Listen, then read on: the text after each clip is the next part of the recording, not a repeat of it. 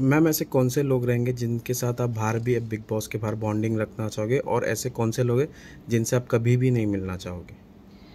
अभिषेक, मनीषा, एलविश से मैं हमेशा बॉन्ड रखना चाहूँगी जब तक हम साथ रहते हैं। और जिनसे नहीं रखना चाहूँगी, ऐसा नहीं नहीं रखना चाहूँगी बट मे बी नहीं मिलेंगे हम बातचीत, नहीं करेंगे। टकरा गए तो टकरा गए। जाट तो चल देगा दुबई, ठीक है? और जिया है। नहीं मिलना चाहूँगी। अविनाश है। हाँ ये लोग ही है। मतलब पूजा मैम और बेबिका से मेरी थोड़ी इन लोग से तो ज़्यादा ही बातचीत हुई है।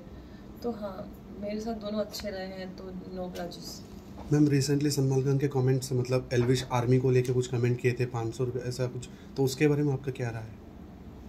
यार पहली चीज़ तो मुझे वो समझ ही नहीं आई थी कि तब क्या चल रहा। फैंस जो है उनके उनके वजह से मतलब हाँ। यूट्यूब वर्सेस बॉलीवुड हो हाँ, गया है तो इसके हाँ। बारे में। यार पता नहीं वो स्टेटमेंट मुझे ऐसा मैं क्या बोलूँ उस चीज़ पे? मतलब सबके अलग पॉइंट ऑफ़ व्यू है। सलमान सर को जो लगा उन्होंने वो चीज़ बोली। तो उसके आगे मैं कुछ बोल नहीं सकती हूँ भाई। No comments for that okay Salman Khan as a host. मतलब किस तरह है? मतलब ओ में? काफ़ी अच्छे हैं। मतलब ऑब्वियसली थोड़े डिफरेंट है जो मूवी के सेट पे थे और यहाँ पे थे। क्योंकि वहाँ पे मैं उनकी को एक्टर थी और यहाँ पे मैं उनकी कंटेस्टेंट थी। तो हाँ ऑब्वियसली काफ़ी डिफरेंट है।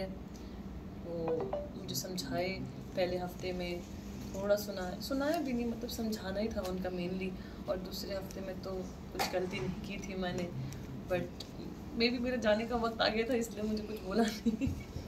बट हाँ मुझे काफ़ी अच्छे तरीके से उन्होंने मुझे बाय बोला, काफ़ी प्यार से तो अगर आप